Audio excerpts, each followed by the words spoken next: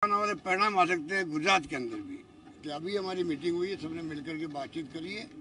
और राजस्थान सब एकजुट है मैंने आपको कहा कल राहुल गांधी जी ने कहा कि दोनों सम्मानित नेता है सम्मानित नेता है ये कहा एसेट है। तो अशोक गहलोत और सचिन पायलट एसेट है। हमारी पार्टी में खूबी है कि जब नंबर वन कह देता कोई आदमी नंबर टू कह देता नंबर थ्री कहता, और ये हमारे नंबर वन, टू, थ्री है ही नहीं। जब खड़गे साहब अध्यक्ष बन गए हैं तो सोनिया जी और राहुल जी, उनकी नेचर हम जानते हैं कि किस प्रकार से वो प्रोटोकॉल निभाना जानते हैं। जब राहुल जी ने ये बात कह दी है तो हमारी पार्टी की बहुत बड़ी खासियत रही है कि हमेशा जब संदेश नेता का आता है तो नीचे तक सब मिलकर के राजनीति करते हैं मिलकर काम करते हैं और पार्टी के हित में क्या हो सकता है, उस पर हम लोग आगे बढ़ते हैं।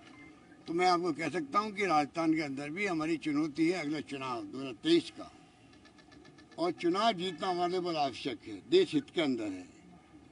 कांग्रेस अगर मज़बूत होगी देश के अंदर तो ही मैं समझता हूँ देश का फ्यूचर बना रहेगा, मज़बूत रहेगा।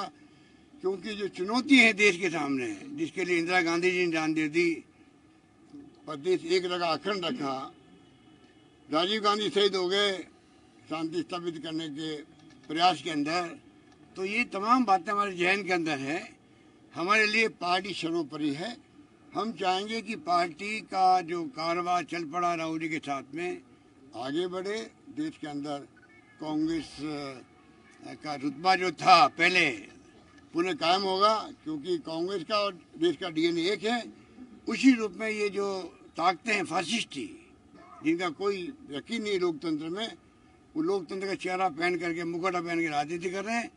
उनको एक्सपोज करने का काम भी यात्रा के बाद में भी हम लोग मिलकर करेंगे। धन्यवाद।